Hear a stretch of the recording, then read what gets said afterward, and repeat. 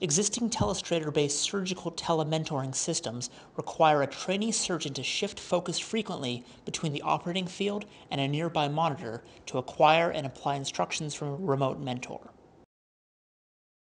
We present a novel approach to surgical telementoring that avoids this disadvantage of telestrators.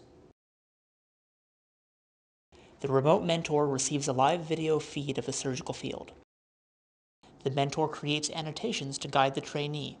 The annotations are sent to the trainee site where they are superimposed onto the surgical field using an augmented reality simulated transparent display.